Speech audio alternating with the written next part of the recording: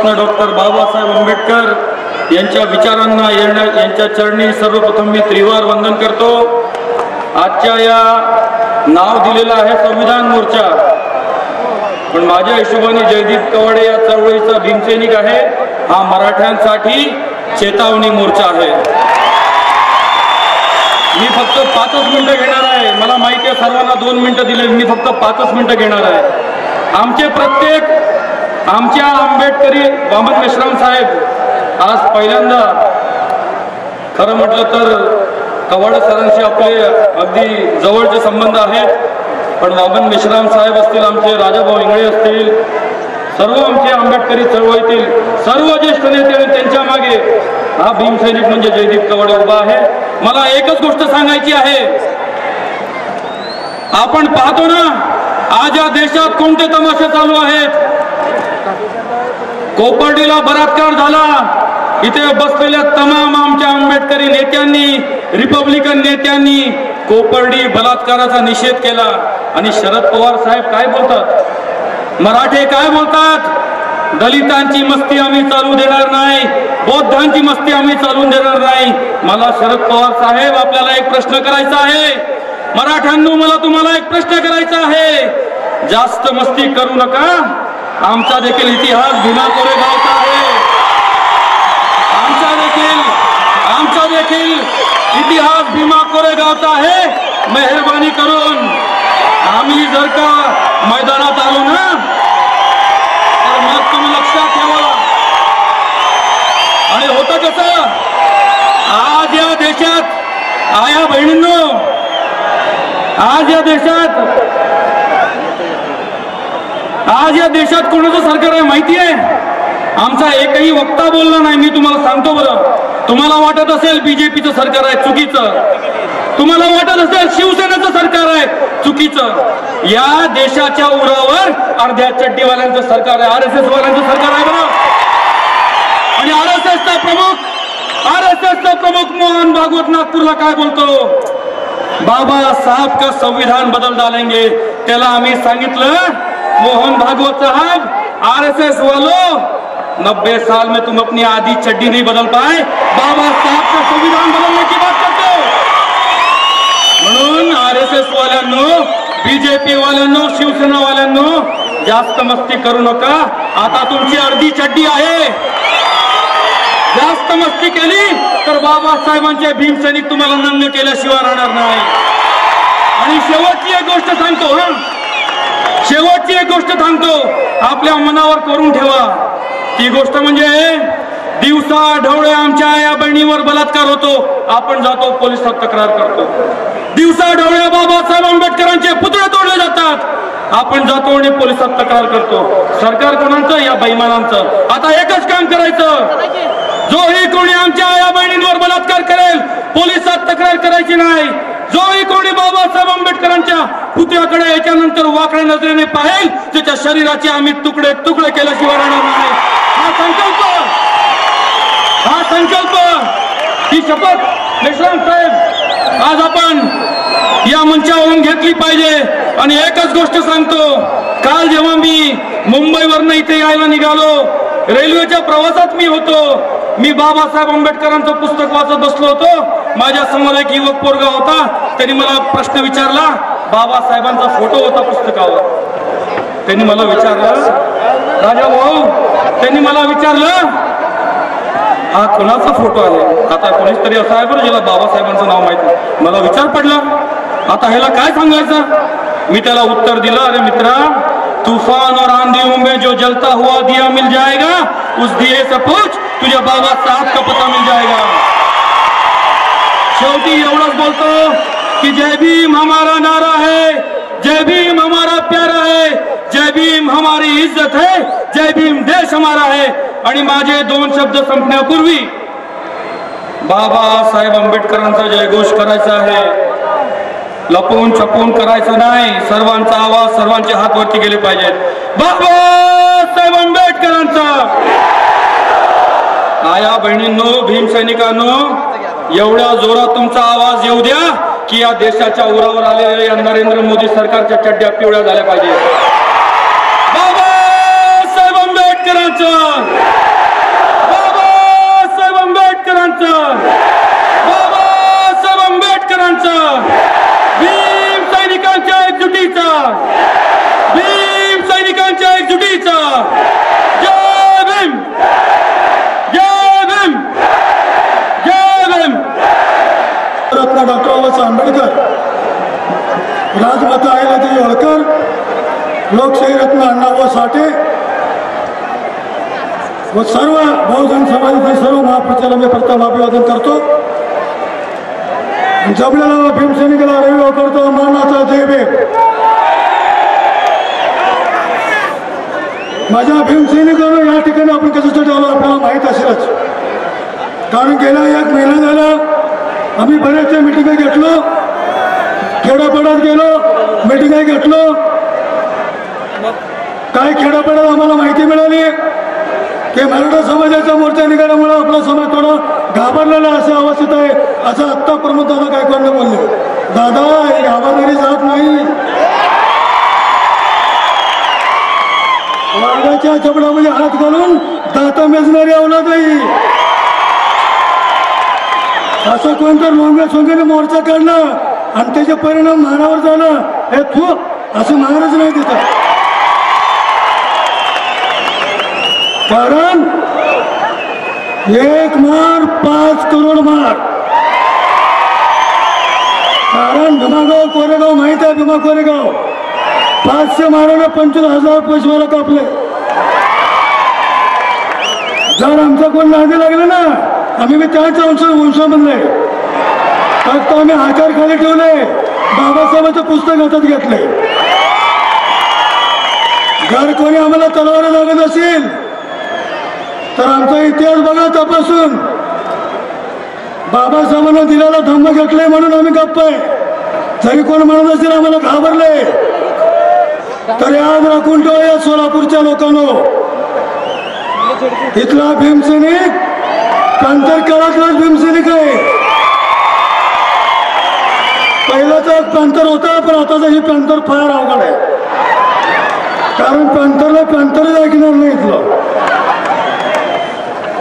या बहुजन समाज पार्टी समाजाचं एक आपण काय तर ऋण लागतो. म्हणून या ठिकाणी या मागणीसाठी आपण या मोर्चामध्ये सामील झालेला मित्रांनो. पहिल्यांदा सोलापूर शहरामध्ये प्रत्येक वेगवेगळ्या जातीचे मोर्चे निघायचे. या सोलापूर जिल्ह्यामध्ये पहिल्यांदाच बहुजन समाजाचा मोर्चा निघाला. की बहुजन क्रांती माध्यमातून. भारतीय संविधानाच्या सन्मानार्थ मित्रांनो या देशामध्ये या महाराष्ट्रामध्ये जातीवादी सरकार मुसलमानाला वाकडायला देणं बघतंय. मुसलमान समाजाला वाकडायला देणं बघतंय. जे निरपराधी मुसलमान आहे त्या मुसलमानाला जाण्यामधून डावून ठेवण्याचं काम इथलं सरकार करते जे निरपराधी मुसलमान आहेत त्यांना सोडून द्यावं. ही एक मागणी आपल्या बहुजन समाज क्रांतीच्या माध्यमातून आहे. आणि अठरा सिटी? अरे अठरा सीट तर तुमच्या बापाला बी कॅन्सल होणार नाही. तुम्ही महाराष्ट्रात मोर्चा काढायला लागलो. महाराष्ट्रात मोर्चा काढणं म्हणजे महाराष्ट्र सरकारला नाही अधिकार. अठरा सिटी कॅन्सल करायचं. हे केंद्र सरकारचं आहे. मग केंद्राने जावं लागेल एवढे लोक घेऊन तुम्हाला. भारतामध्ये सर्व एस सी ओबीसी सर्व एकत्र आले. तर येण्यानं चटणीला पुरणार नाही तुम्ही. लोक एक बहुजन कमीत कमी पाच हजार बहुजन समाज एका एका मराठाला मारेल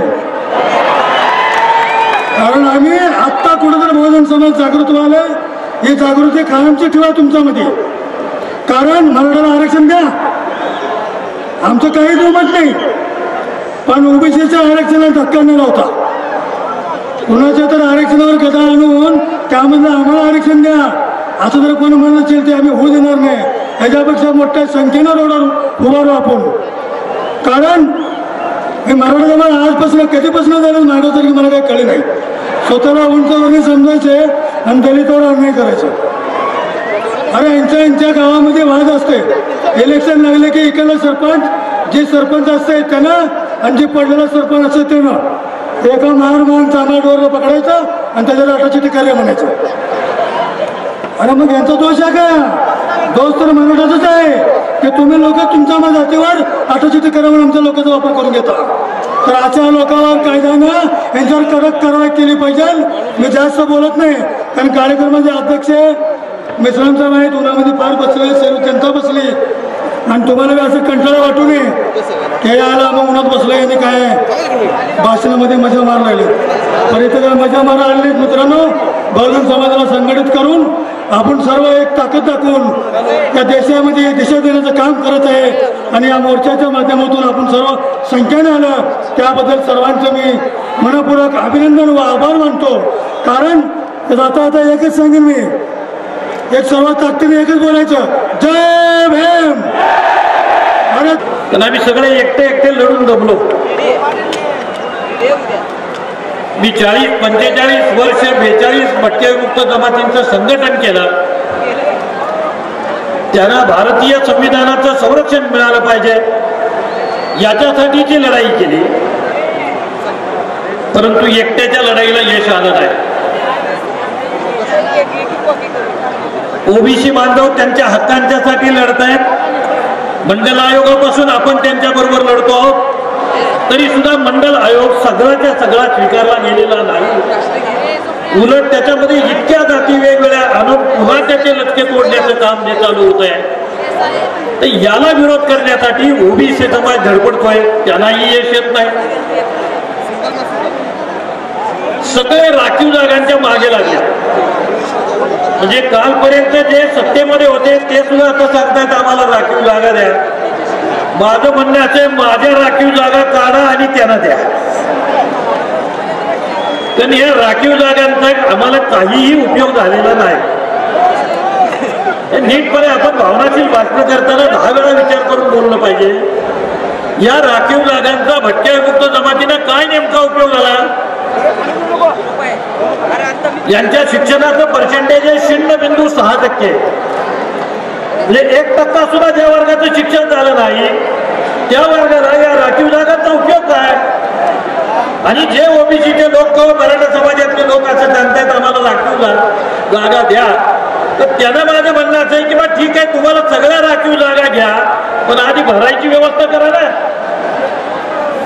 आम्हाला पन्नास टक्के जागा राखून जरी ठेवल्या आणि जागा भरायलाच काढल्या नाहीत तेव्हा भावनिक केवळ होऊन चालत नाही. पॅनिक नाही वाटत आपण सारी बाबासाहेबांची लेकरं आहोत याचा पुरावा दुसऱ्या कुणाला मागायची गरज नाही तो आपल्या आतमध्ये आहे की आपण बाबासाहेबांचे आहोत ते रोज सारखं बोलण्याची गरज आहे असं मला स्वतःला वाटत नाही. वागून ते सिद्ध केलं पाहिजे.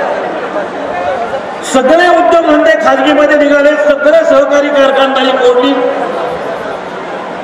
सरकारी नोकऱ्यांमध्ये भरती बंद झाली वीस वर्ष झाली. आणि आपण अजूनही असं म्हणतो की आम्हाला राखीव जागा देवा अरे करायचं काय त्या राखीव जागा? आता उलटी मागणी अशी करूया की जिथे जिथे खाजगीकरण आहे तिथं तिथे राखीव जागा ठेवा. तर त्याचा आम्हाला उपयोग होईल. नुसत्या राखीव जागा ठेवा आणि सरकार भरायलाच जागा काढत नाही. त्याचा उपयोग नाही. ओबीसी बांधवांनी हे लक्षात घेतलं पाहिजे. की केवळ राखीव जागा आपली मागणी नाही तर आपल्याला सत्ता संपत्ती आणि प्रतिष्ठा याच्यामधली वाटणी पाहिजे. याचा फेर वाटप झालं पाहिजे. आणि त्याच्यासाठी भूमिमुक्ती आंदोलन सुरू करा. हजारो एकर जमिनी देशामध्ये पडून आहेत राज्यामध्ये हजारो एकर जमिनी पडून आहेत. अगदी तुमच्या सोलापूर जिल्ह्यामध्ये हजारो एकर जमिनी पडून आहेत. पुणे जिल्ह्यामध्ये हजारो एकर जमिनी पडून आहेत. साताऱ्यामध्ये हजारो एकर जमिनी पडून आहेत. ज्या शेती महामंडळाच्या जमिनी आहेत आणि ज्या बागायती जमिनी आहेत या जमिनीवरती तातडीनं आपण सगळ्यांनी आक्रमण केलं पाहिजे आणि त्या जमिनी ताब्यामध्ये घेतल्या पाहिजेत. पोटापाण्याची गोष्ट सोडून बाकीच्या गोष्टी आपण बोलायला लागलो तर भावनिक साथ सहकार्य मिळेल. परंतु त्यांना प्रश्न सुटत नाही सत्याचं फेरवाटप केलं पाहिजे एरवी ते राजकारणात पुढे आला. एक मोर्चा काढला प्रश्न संपत नाही.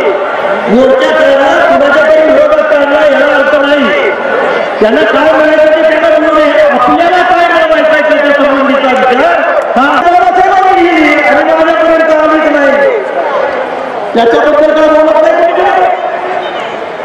आम्ही या देशाचे नागरिक आहे काय आम्हाला म्हणण्याचा अधिकार आहे याच्यासाठी भांडण कोण करणार आहे ही माणसं दुर्गी आहे ही माणसं गरीब आहे अल्पसंख्याक आहे ही माणसं जे मुद्दा करत आलं हे तुम्हाला की लाखो लोक बंद केले. तरी सुद्धा आधी जी जबाबदारी स्वतःची जात सोडत असेल तर मी तुम्हाला सांगतो जातीसाठी माती खाण्याचा संस्कार हा हिंदू संस्कार हा हिंदू संस्कार लक्ष्मण मानेने सोडला त्याच्यासाठी. मी माझ्या जागेत आता मला एक उठायचं सुटायचं सरकार आपल्या जातीच्या तिड्याच्या बाहेर पडायचं नाही. अरे तो नरक आहे सोडा बाबासाहेबांनी छप्पन साली सोडला नरक अजूनही तुम्ही त्या नरकामध्ये भरता बाहेर पडा त्यातून. आणि जयभीम बोला. नुसता जयभीम काय कामाचा रे फुकाचा? त्यानं पोट नाही भरत आहे. त्याला फार अक्कल नाही लागत आहे. जन्म झाला कुठे? मी काय अर्ज करायला गेलो होतो का? मी महाराजा घरी जन्माला आलो नाही का? माझा दोष आहे. अरे ब्राह्मण सारखे कडवे जर आपण राहणार असू तर कुणी तुमच्या जवळ येणार नाही. तुम्ही आईचो ठेवून बरा मी वारंवार सांगतो तुम्हाला की तुम्हाला बौद्ध म्हणून जगायचं आहे. जे बौद्ध आहेत ते माझे मित्र आहेत. आणि जे महार आहेत त्यांचा मी निषेध करतो की त्यांनी बाबासाहेबांचा ऐकलं आणि बौद्ध म्हणा बुद्ध म्हणा शुद्ध म्हणा तर तुमच्या मागे सारं राजकारण सत्ताकारण धावत येईल. आणि कदाचित दोन हजार एकोणीस ला आपला महाराष्ट्राचा मुख्यमंत्री आपण करू शकू. फक्त तुम्ही शुद्ध म्हणा. ऐका ना विचार करा. तुमच्या बरोबर मला केवढ्या शिक्षा सहन करायला लागल्या तुम्हाला काय करायला लागलं? ज्या बाबाच्या घरी तुम्ही जन्म घेतला त्याच्यामुळे तुम्हाला धर्म मिळाला असं तुम्हाला वाटतं? हा केवढा वेळेपणा आहे. बुद्धाचा धम्म वारशाने मिळत नाही. बुद्धाचा धम्म वारशाने मिळत नाही. माझा बाप बुद्ध होता म्हणून मी बुद्ध नव्हे. माझा आका बुद्ध होता म्हणून मी बुद्ध नव्हे. मला बौद्ध दीक्षा घेतली पाहिजे.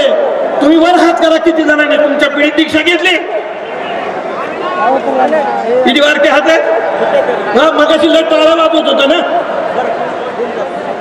पण मी सांगितलं अजिबात चालणार नाही तुम्हाला बदलावंच लागेल. आणि तुम्ही बदलला नाही तर लक्ष्मण माने तुम्हाला कधी माफ करणार नाही. एवढं सांगतो आणि थांबतो. जय भीम. मानाचा क्रांतिकारी जय भीम.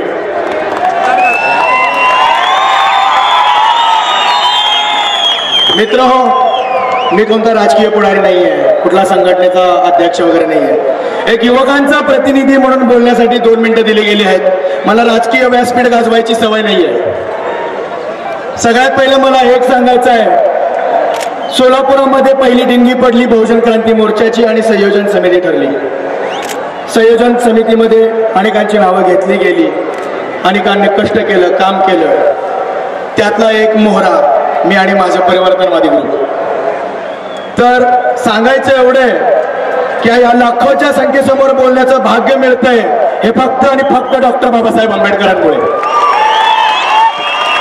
माझी अख्खी आयात माझी अख्खी खानदान जरी त्यांच्या बुटाची पॉलिश करत बसला तरी त्यांचे उपकार कधीही संपणार नाही आणि मला सांगायचं एवढंच आहे बहुजन म्हणून आम्ही ही जी कन्सेप्ट राबवली आहे तुमच्या माझ्या डाव्या साईडला माझं बोट जिकडे आहे तिकडे एक तिरंगा फडकतोय नीट बघा मित्रांनो.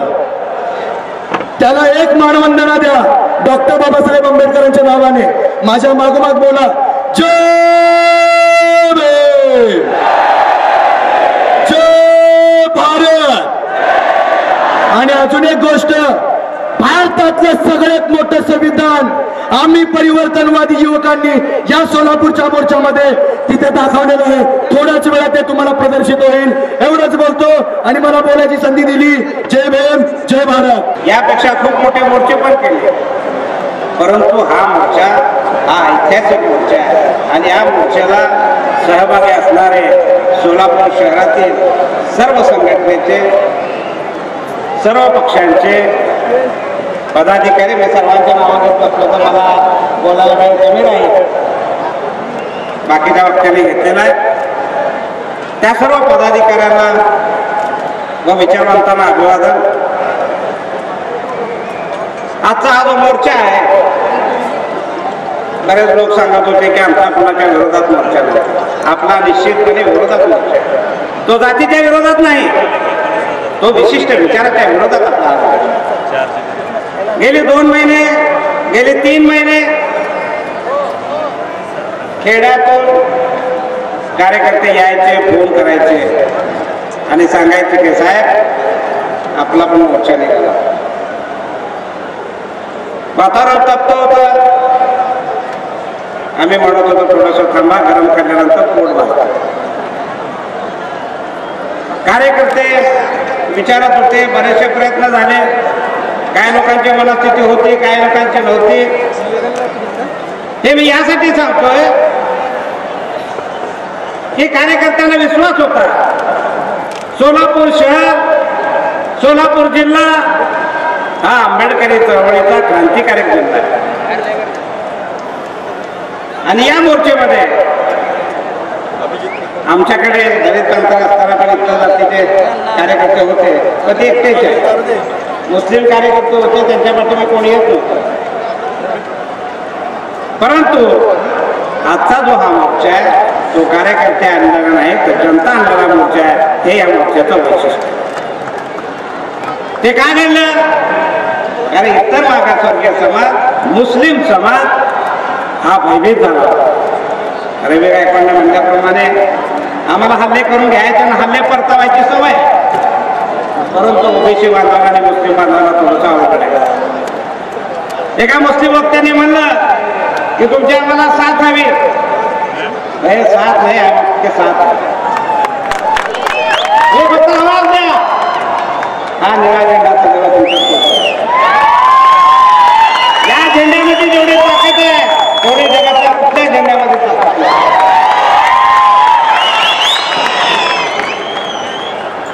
तर मला एक सांगायचं आहे याचा आता थोडंसं विषांत केल्यासारखं वाटेल पण त्याचा पुढचा शब्द वेगळा आहे हा जो जनसमुदाय साजरा झालेला आहे त्यामध्ये इतर मागासवर्गीय आहेत मुस्लिम बांधव आहेत ख्रिश्चन आहेत अनुसूचित जातीच्या सर्व जाती आहेत. स्पेशल मागासवर्गीय सुद्धा आहे तर सत्ताधाऱ्यांवर आणि विरोधकांवर एक लक्षात ठेवा जसं मोदींनी नोटबंदी केली आणि आम्ही जर ठरवलं तुमची वोटबंदी करायची तर मग काय होईल? हा तुमच्या धोक्याची घंटा आहे. आमच्यावर दहशत माजवू नका. आम्हाला दबावाखाली घेण्याचा प्रयत्न करू नका. त्याचे परिणाम वाईट आम्ही मारणार नाही कुणाला. आम्ही कुणाला हल्ला करणार नाही. परंतु ज्या चादरीवर तुम्ही उभारला ते चादर मारण्याच्या राहणार नाही. एवढं मात्र तुम्ही लक्षात ठेवा. कोपर्डीमध्ये झालेल्या मुलीवर तो बलात्कार झाला त्याला जीव मारला तो नराधम होता.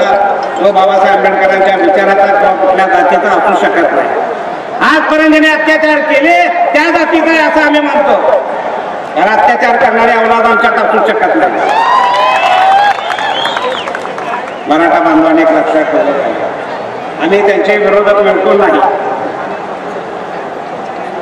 आम्ही त्यांच्या विरोधात बिलकुल नाही.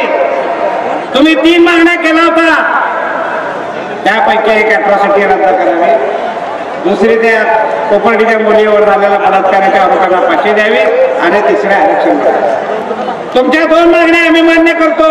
तुम्ही आमची एक मागणी मान्य करा. त्या आरोपीवर आरोप निश्चित झाले तर त्यांना फाशी करून द्या. मराठ्यांना ओबीसीवर अन्याय करता न करता आरक्षण द्या. परंतु अट्रॉसिटी हा कायदा आमच्या बांधवांचं हे संरक्षण आहे त्याला मात्र तुम्ही पाठिंबा द्या. मग बघू कधी काय बनवले होते. हे बघायला आम्ही तर मित्रांनो एक सांगायचं आहे की हल्ली दडपशाही वाढलेली आहे. आणि दडपशाही कोरोना आम्हाला चालणार आता ही जी नांदी आहे बहुजन चळवळीची आणि हा मोर्चा जो आहे तो कुठल्याही संघटनेचा किंवा कुठल्या पक्षाचा नाही हा विचाराचा मोर्चा हा शाहू फुले आंबेडकरांच्या विचाराचा मोर्चा आहे. या मोर्चेवर या शहरातल्या पंच्याहत्तर टक्के लोकांनी शिक्कामोर्तब केलेला आहे. आम्ही ज्या ज्या ठिकाणी मिटिंगा घेत होतो त्या त्या ठिकाणचा माणूस प्रत्येकाला सांगत होता. की आम्ही तुमच्या मोर्चेमध्ये जायला येतो. त्यावेळी मी सांगत होतो हा माझा नाही आपल्या सर्वांचा आहे आणि तुम्हाला यावं लागेल. तेव्हा हा जो जनसमुदाय आहे या जनसमुदायामध्ये असणारा प्रत्येक जाती धर्माच्या आणि प्रत्येक घटकातला माणूस आलेला आणि हा खरा छोटा भारत आहे आणि तो दाखवण्याचा प्रयत्न आज आम्ही सोलापूर केला. हाच खरा भारत आहे. काय लोक कुणाच्या विरोधात बोलले राष्ट्रद्रोही म्हणतात. मुस्लिम बांधवांना तुम्हाला सांगायचं आता तुम्हाला कोण पाकिस्तानवाला म्हणलं? तर जसं आमच्या विरोधात कोण गेलं तर आम्ही त्याच्या अंगावर जातो. तसं तुम्ही पण जायची तयारी ठेवा जर तुम्हाला कोण आढळलं तर आम्ही तुमच्या पाठवू तेव्हा जाता जाता मी तुम्हाला एक सांगतो. की या एक ठिकाणी जमलेल्या तमाम जाती धर्माच्या प्रत्येक थरातल्या लोकांना आम्ही सांगतो की अशा पद्धतीचे आंदोलन जर आपण चालू ठेवले तर भविष्यामध्ये आपलं भविष्य उज्ज्वल आहे. एवढंच बोलून मी आपल्याला जागतो जय भीम जय भारत. आहे अशा प्रकारचे मोर्चे महाराष्ट्राच्या छत्तीस जिल्ह्यामध्ये निघत आहेत तेव्हा हे मोर्चे का निघत आहेत? ही बाब थोडी आपल्याला समजून सांगणं आवश्यक आहे. मागील काही महिन्यापासून महाराष्ट्रामध्ये मराठा क्रांती मोर्चे निघत होते. आणि जेव्हा हे मोर्चे निघत होते तेव्हा मी उत्तर भारतामध्ये असल्यामुळे मला उत्तर भारतामध्ये त्याबद्दलच्या माहितीचे टेलिफोन येत होते. की मराठा क्रांती मोर्चा निघत आहेत. असे जेव्हा टेलिफोन मला येत होते तेव्हा मी त्यांना म्हटलं निघू द्या. निघत असतील निघू द्या. ते म्हटले नाही त्या क्रांती मोर्चामध्ये ऍट्रॉसिटीज ऍक्ट रद्द करण्यात यावा. अशा प्रकारच्या मागण्या करण्यात येत आहेत. तेव्हा मी त्यांना म्हटलं की मग असं असेल तर ही बाब थोडी गंभीर आहे. याचा विचार करावा लागेल. आणि मग विचार करण्यासाठी एकवीस सप्टेंबरला पुण्यामध्ये संपूर्ण महाराष्ट्राची बैठक बोलवण्यात आली. बामसेप आणि भारत मुक्ती मोर्चाच्या विद्यार्थी युवा मोर्चाच्या ऑफशूट ऑर्गनायझेशनची दिवसभर बैठक घेण्यात आली. आणि त्या बैठकीमध्ये महाराष्ट्रामध्ये बहुजन क्रांती मोर्चे काढले जातील असा निर्णय घेण्यात आला. या नगर जिल्ह्यामध्ये कोपर्डी हे प्रकरण घडलं. त्यापूर्वी अनुसूचित जाती जनजातीचे चार लोक त्यांची हत्या करून मार करण्यात आला. त्यामुळे आम्ही असा निर्णय घेतला की हा मोर्चा सर्वप्रथम नगर जिल्ह्यामध्ये काढला पाहिजे. आणि मग हा मोर्चा सर्वप्रथम नगरमध्ये काढण्यात आला. आणि या मोर्चाला रिपब्लिकन पक्षाच्या नेत्यांनी सुद्धा पुढाकार घेऊन पाठिंबा दिला. ते विजय भाऊ वागचौरे अशोक गायकवाड या नेत्यांचा मी मनपूर्वक आभार व्यक्त करतो. या निमित्तानं त्यांनी यासाठी पुढाकार घेऊन हा बहुजन क्रांती मोर्चा चोवीस ऑक्टोबरला काढण्यात आला. भव्य मोर्चा काढण्यात आला. अत्यंत मोठा शिस्तबद्ध मोर्चा काढण्यात आला. आणि मग तमाम महाराष्ट्रामध्ये त्याची चर्चा सुरू झाली.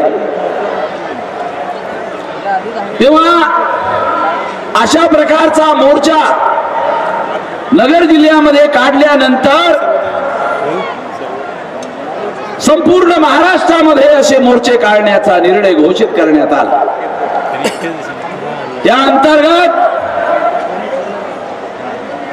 यवतमाळमध्ये कोल्हापूरमध्ये पुण्यामध्ये आणि आज सोलापूर शहरामध्ये हा भव्य मोर्चा या ठिकाणी काढण्यात आलेला आहे. हा बहुजन क्रांती मोर्चा या अनुषंगाने काढण्यात आलेला आहे. ही बाब आपण समजून घेतली पाहिजे. मराठा क्रांती मोर्चामध्ये ऍट्रॉसिटीज ऍक्ट रद्द करण्यात यावा. अशा प्रकारची मागणी करण्यात आली होती. आणि ती मागणी करणारे मराठा क्रांती मोर्चाचे जे लोक आहेत मला फार आश्चर्य वाटलं की मराठा समाजाचे लोक शिवाजी महाराजांना आपला आदर्श मानतात. आणि शिवाजी महाराजांना आदर्श मानणारे मराठे हे ऍट्रोसिटीज ऍक्ट रद्द करा. म्हणजे अत्याचार करण्याचा आम्हाला परवाना द्या. अशा प्रकारची एक प्रकारे मागणी करत आहे. मला फार आश्चर्य वाटलं. की ज्या छत्रपती शिवाजी महाराजांनी अत्याचार करणाऱ्या रांजाच्या पाटलाला पकडून आणो त्याचे हातपाय तोडण्याचा आदेश दिला. तेव्हा मी असं मानतो की छत्रपती शिवाजी महाराजांच्या राज्यात सुद्धा ऍट्रॉसिटीज ऍक्ट होता शिवाजी महाराजांचा सुद्धा ऍट्रॉसिटीज ऍक्ट होता आणि तो भारत सरकारने पास केलेल्या कायद्यापेक्षा जास्त कडक होता. हातपाय तोडण्याचा आदेश त्यांनी दिला होता. म्हणजे मराठा समाजाचे लोक शिवाजी महाराजांना आदर्श मानतात. ते अत्याचार करणाऱ्यांचे हातपाय तोडण्याच्या ऐवजी अत्याचार करण्याची आम्हाला मुभा असावी अशा प्रकारचा कायदा करण्यात यावा अशी मागणी करतात. अशा लोकांना छत्रपती शिवाजी महाराजांचा गौरव करण्याचा अधिकार नाहीये नाव घेण्याचा नैतिक अधिकार नाही आणि या अत्याचार कायद्याच्या संबंधामध्ये महाराष्ट्राच्या मुख्यमंत्र्यांनी भारतीय संसदेने पास केलेला कायदा त्याच्या विरोधामध्ये मराठा क्रांती मोर्चांना महाराष्ट्रभर मोर्चे काढू देण्यासाठी अनुमती दिली. जर त्यांनी आरक्षणासाठी मोर्चे काढण्यासाठी अनुमती दिली असती आमचं काही ऑब्जेक्शन नाही. पण ऍट्रॉसिटीज ऍक्टच्या विरोधामध्ये फडणवीस यांनी मोर्चे काढू देण्यासाठी अनुमती देणे हे भारतीय संविधानाचा शपथ घेऊन जो व्यक्ती मुख्यमंत्री झाला तो व्यक्ती तो फडणवीस भारतीय संविधानाचा अपमान करतो. त्यांनी हे अनुमती द्यायला नको होती. पण त्यांनी ती अनुमती दिली. मी यावर विचार केला. या मराठ्यांना ऍट्रॉसिटीज ऍक्टच्या विरोधामध्ये रद्द करण्याची मागणी करणारी क्रांती मोर्चा काढण्यासाठी अनुमती फडणवीसनी का दिली? यावर जेव्हा मी विचार केला तेव्हा माझ्या असं लक्षात आलं की जेव्हा मंडल आयोग आला होता त्यावेळेस संघ परिवाराच्या लोकांनी अण्णासाहेब पाटलांना मराठा महासंघाच्या अण्णासाहेब पाटलांना बावन्न टक्के ओबीसीच्या विरोधामध्ये मंडल आयोग एक विषाचा प्याला. असं अभियान संघ परिवाराच्या माध्यमातून चालवण्यात आलं होतं. आणि ते अभियान चालवल्यामुळे ते आंदोलन चालवल्यामुळे तेव्हापासून ओबीसीचा बावन्न टक्के वर्ग हा मराठ्यांच्या विरोधामध्ये आहे. आणि तो आजही विरोधात आहे. आजही तो असं म्हणतो की मराठ्यांना आरक्षण द्या पण आमच्या ओबीसी मध्ये त्यांना सामील न करता द्या याचा अर्थ असा आहे की ते लोक अजूनही मराठ्यांच्या विरोधामध्ये आहेत. तेव्हा बावन्न टक्के ओबीसी महाराष्ट्रामध्ये मराठ्यांच्या विरोधामध्ये असताना एस सी एस टी आणि N T D N T व्हीजेएनटीना विरोध करून पुन्हा अंगावर घ्यायची काय आवश्यकता होती? मराठ्यांनी S C S T N T D N T व्हीजेएनटीच्या विरोधामध्ये अट्रॉसिटीज कायदा रद्द करावा अशी मागणी करू बावन्न टक्के ओबीसी विरोधात असताना पुन्हा S C S T OBC S C S T N T D N T व्हीजीएनटीच्या लोकांना आपल्या अंगावर घ्यायची काय आवश्यकता होती? याच्यामध्ये कुठलं शहाणपणा आहे? याच्यामध्ये कुठलं समजदारी आहे? याच्यामध्ये कुठल्याही प्रकारची समजदारी नाही. एवढा एवढा बावन्न टक्के आणि S C S T N T एवढा वर्ग जर महाराष्ट्रामध्ये विरोधामध्ये जर गेला तर तुमचे आमदार खासदार मंत्री मुख्यमंत्री कसे बनणार? तेव्हा माझ्या लक्षात आलं की फडणवीस यांनी मराठ्यांना S C S T N T D N T विजयंतीच्या विरोधामध्ये मोर्चा काढू देण्याच्या पाठीमाग ब्राह्मणी राजकारण आहे. बावन्न टक्के विरोधामध्ये मराठे अगोदरच आहेत. आणि ओबीसी मराठ्यांच्या विरोधात आहेत. जर S C S T N T हेही जर विरोधात गेले तर मराठ्यांची कायमची सत्ता महाराष्ट्रात चालली जाईल आणि मग बीजेपी शिवसेनेची कायम सत्ता महाराष्ट्रामध्ये आणता येईल. अशा प्रकारचा डावपेच हा ऍट्रॉसिटीज ऍक्टच्या विरोधामध्ये अनुमती देण्याच्या पाठीमागे आहे. मी तुम्हाला या ठिकाणी सांगू इच्छितो किंवा फडणवीस यांना सांगू इच्छितो नागपूरच्या विधानसभेच्या कालावधीमध्ये ॲट्रॉसिटीज ऍक्ट रद्द करण्याच्या संबंधामध्ये विधिमंडळाची कमिटी कदाचित आमच्या बांधवांना ही बातमी माहिती नसेल पण फडणवीस यांनी विधिमंडळाची कमिटी आमदारांची कमिटी कायद्याची समीक्षा करण्यासाठी बनवलेली आहे. तेव्हा आमच्या कार्यकर्त्यांनी आमच्या लोकांनी आमच्या नेत्यांनी ही गोष्ट लक्षात ठेवावी. की फडणवीस यांनी ऍट्रॉसिटीज ऍक्टची समीक्षा करण्यासाठी विधिमंडळाची समिती बनवलेली आहे लक्षात ठेवा. याचा अर्थ असा की फडणवीस आमचं प्रोटेक्शन जे आहे हे खाडून घेण्यासाठी षडयंत्र करत आहे. तेव्हा मी फडणवीस यांना चेतावणी देतो. तुम्ही जर ऍट्रॉसिटीज ऍक्टची काना मात्रा आणि वेलंटी जरी बदलवली कायदा तर सोडा. कायदा तर बदलवण्याचं सोडा. पण काना मात्रा आणि वेलंटी जरी बदलवली तर या महाराष्ट्रामध्ये बदलवणारे तुम्ही फडणवीस तुम्ही दीड टक्क्यापेक्षा जास्त नाही आहात. आम्ही लोकांनी फूक जरी मारली फुकलो जरी तर तुम्ही उडून जा तेव्हा हे लक्षात ठेवा. तेव्हा या ठिकाणी आपल्याला या बहुजन क्रांती मोर्चाच्या निमित्तानं संपूर्ण बहुजन समाजाच्या लोकांना एकत्रित करण्याचा हा कार्यक्रम आहे. एका जातीच्या लोकांनी एकत्रित करण्याचा प्रयत्न आपण मागील चाळीस पंचेचाळीस पन्नास वर्षापासून करत आहोत.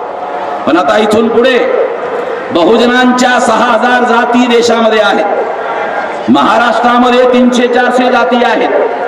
ह्या सर्व जाती बहुजनांच्या एकत्रित करण्याच्या कार्यक्रमाच्या साठी कारण महाराष्ट्रामध्ये आपल्याला हा जो मोर्चा आहे हा मोर्चा काढून पुन्हा स्वस्थ बसायचं नाही आहे. मोर्चा आपल्या बांधवांनी दहा लाख लोकांचा पंधरा लाख लोकांचा रिडल्स आणि हिंदुइझमच्या वेळेला मोर्चा काढला होता. बाळासाहेब ठाकरेंनी सुद्धा मोर्चा काढला होता. त्यांचा दहा लाखाचा तर आपलाही दहा लाखाचा. त्यांच्या दहा लाखवाल्यांना मनोहरपण जोशी मुख्यमंत्री झाला होता. आपण त्यावेळेस रस्त्यावर होतो आणि अजूनही रस्त्यावरच त्यांनी दहा लाखाचा मोर्चा काढला त्यांना सत्ता मिळाली. आपण दहा लाखाचा मोर्चा काढला होता त्यावेळेसही आपण रस्त्यावर होतो. आजही आपण रस्त्यावरच आहोत. हा रस्त्यावरचा पुरावा. तेव्हा आम्ही हमेशासाठी रस्त्यावर राहायचं नाही असं ठरवलं. हे खूप झालं केवळच रस्त्यावर राहणं. आता बाबासाहेब म्हणतात त्याप्रमाणे शासन करती जमात व्हा. शासन करती जमात व्हा. तेव्हा एका जातीच्या समर्थनाने शासन करते जमात होणं शक्य नाही जास्तीत जास्त नगरसेवक होऊ शकतात. ग्रामपंचायतीचे सदस्य होऊ शकतात. शासन करती जमात नाही बनू शकत. तेव्हा महाराष्ट्रामध्ये आपल्याला सर्व बहुजन समाजाचे ज्या विविध जाती आहेत त्या सर्व जातीच्या लोकांना एकत्रित करण्याचा बहुजन क्रांती मोर्चाच्या माध्यमातून प्रयत्न करत आहोत. बाबासाहेब आंबेडकरांच्या जवळ बहुजनांना एकत्रित करणारा विचार आहे. त्यांच्या जवळ कार्यक्रम आहे. आणि म्हणून तो कार्यक्रम आपण अंमलबजावणीमध्ये आणला पाहिजे. चोवीस ऑगस्ट चोवीस एप्रिल एकोणीसशे अठ्ठेचाळीस ला लखनौ मध्ये बाबासाहेब आंबेडकरांनी शेड्यूल कास्ट फेडरेशनच्या राज्य अधिवेशनामध्ये भाषण करताना असं शेड्यूल कास्ट के लोगों, आगे बढ़ो और बैकवर्ड क्लास के लोगों को साथ में लो और साथ में लेकर तुम्हारी संख्या ज़्यादा होगी और ज़्यादा संख्या होने से उत्तर प्रदेश में तुम्हारी सरकार आ सकती है और जब तुम्हारी सरकार आएगी तो ये जो बाजू में बैठा हुआ गोविंद वल्लभ पंत, जो उत्तर प्रदेश का मुख्यमंत्री है। जब तुम लोग तुम्हारा मुख्यमंत्री बनाओगे तो तुम्हारे जूतों के फीते खोलने में ये गोविंद वल्लभ पंत गर्व महसूस करेगा। यासाठी तुम्ही पुढाकार घ्या बाबासाहेब आंबेडकरांनी चोवीस एप्रिल एकोणीसशे अठ्ठेचाळीस ला। शेड्यूल कास्टच्या लोकांना सांगितलं, तुम्ही पुढाकार घ्या। बहुजनांना एकत्रित करा। आणि सत्ताधारी व्हा शासक व्हा. प्रौढ मतदानाच्या अधिकारानुसार बहुसंख्य लोकांचं समर्थन मिळाल्याशिवाय शासन करती जमात बनणं शक्य नाही. आणि म्हणून त्यावेळेस बाबासाहेब आंबेडकर आपल्या लोकांना असं म्हणाले होते की या लोकांना बहुजनांना सोबत घेण्यासाठी तुम्हाला इंटर डायनिंग आणि इंटर मॅरी म्हणजे आंतरजातीय भोज आणि आंतरजातीय विवाह अशा प्रकारच्या अटी इतरांना टाकू नका. आणि सामाजिक राजकीय आर्थिक प्रश्नाच्या समाधानासाठी आपण सर्व लोकांनी पुढाकार घेऊन सर्व बहुजनांना एकत्रित केलं पाहिजे. हा जो चोवीस एप्रिल एकोणीसशे अठ्ठेचाळीस चा संदेश बाबासाहेबांचा आहे तो संदेश बहुजन क्रांतीच्या माध्यमातून आपण एकत्रित करण्याचा प्रयत्न करत आहोत. त्याच्यावर अंमलबजावणी करण्याचा प्रयत्न करत आहोत. आणि म्हणून शेड्यूल कास्टच्या लोकांना शेड्यूल ट्राईबच्या आदिवासीच्या लोकांना नॉमिडिक ट्राईबच्या लोकांना आपण गोळा करण्याचा निर्णय घेतलेला आहे. आणि बहुसंख्य लोक नॉमिडिक ट्राईबचे लोक सुद्धा या ठिकाणी आलेले आहेत. लक्ष्मणराव मानेंनी घोषित केलं की महाराष्ट्रभर बहुजन क्रांती मोर्चामध्ये मी सहभागी होणार आहे.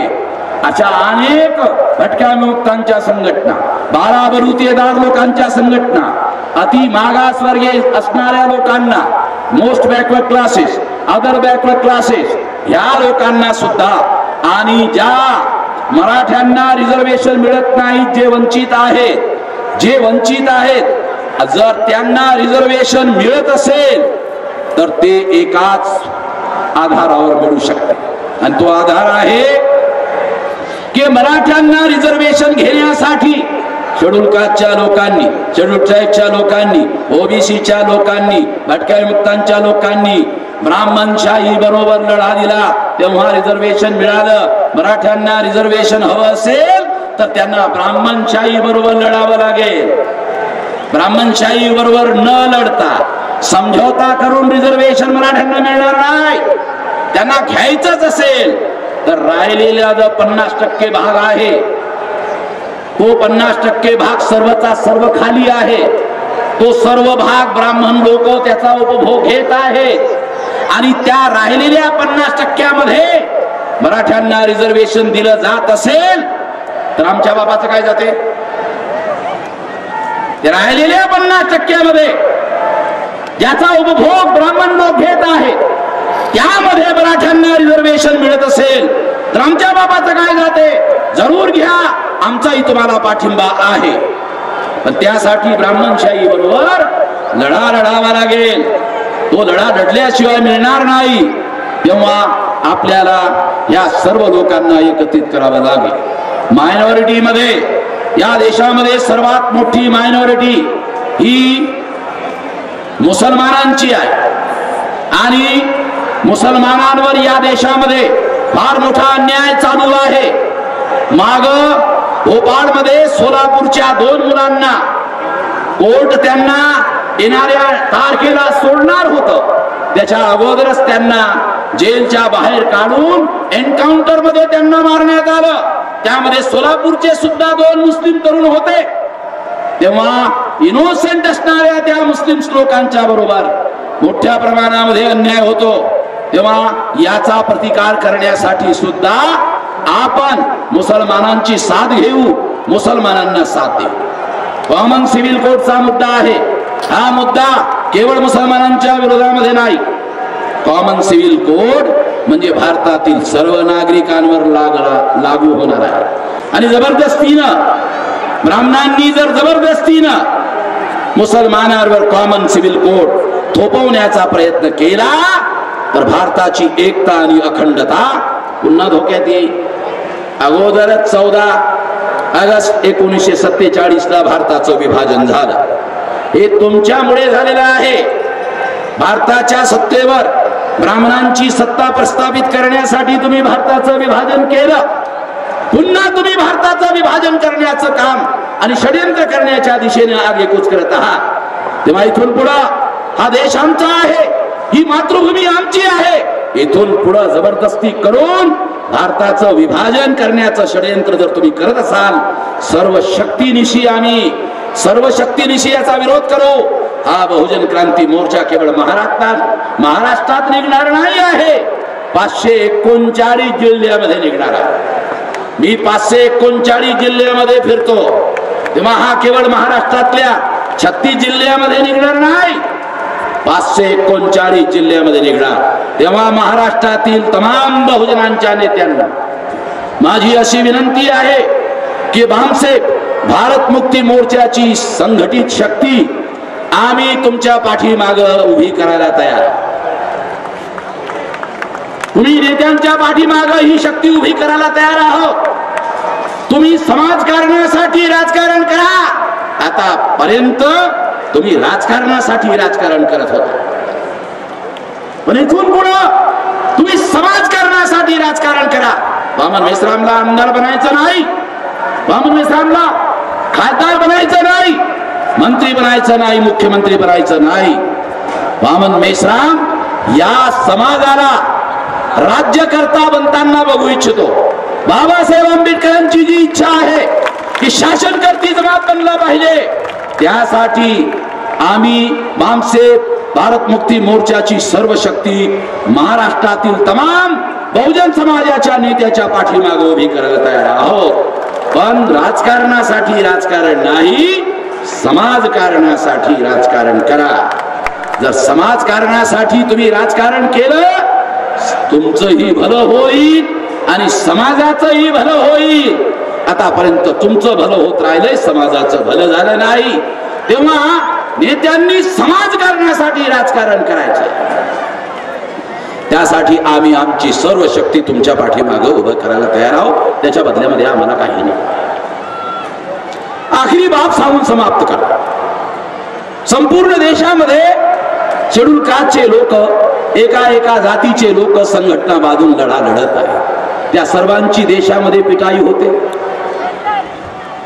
आदिवासी लोकांच्या जमिनी त्यांना नक्सलाईट घोषित करून त्यांच्या गोळ्या घालून त्यांना मारलं जाते आणि त्यांची जमीन कब्जामध्ये घेतली जाते अकरा हजार लाख करोड रुपयाची संपत्ती आदिवासींच्या जमिनी खाली लपलेली आहे. ती जमीन मूल्यवान आहे. ती जबरदस्तीनं आदिवासींची ताब्यामध्ये घेतली जात आहे. नक्षलवादी समजून गोळ्या घालून. तेव्हा त्यांची हे पिटाई होत आहे. त्यानंतर भटक्या विमुक्तांची ही देशामध्ये पिटाई होत आहे. बारा बलुतेदार अनुतेदार लोकांची ही पिटाई होत आहे एक एकट्यामध्ये लढण्यामुळे. ओबीसींच्या एक एकट्या जातीच्या लोकांची पिटाई होत आहे. आणि मुसलमानांचे ते लोक वेगळे वेगळे लढतात त्यांची ही पिटाई होत आहे. आपल्या सर्वांची अलग अलग लढाई लढल्यामुळे पिटाई होत आहे जे लोक आपण अलग अलग लढतो म्हणून आपली पिटाई करतात आता सर्व बहुजनांनी एकत्रित व्हायचं आणि सर्व बहुजनांनी एकत्रित होऊ जर आपण एकत्रित झालो। जे लोक कालपर्यंत आपली पिटाई करत होते जर आपण एकत्र झालो। तर एकत्र झाल्यानंतर आपण त्या सर्वांची पिटाई करू शकतो। आपण सुद्धा त्यांची पिटाई करू शकतो।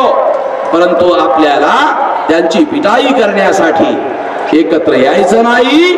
तर बाबासाहेब आंबेडकरांचा जो संविधान आहे समता स्वतंत्रता बंधुता आणि न्यायावर आधारित समाज आणि राष्ट्र निर्माण करण्यासाठी आपल्याला एकत्र यायचं.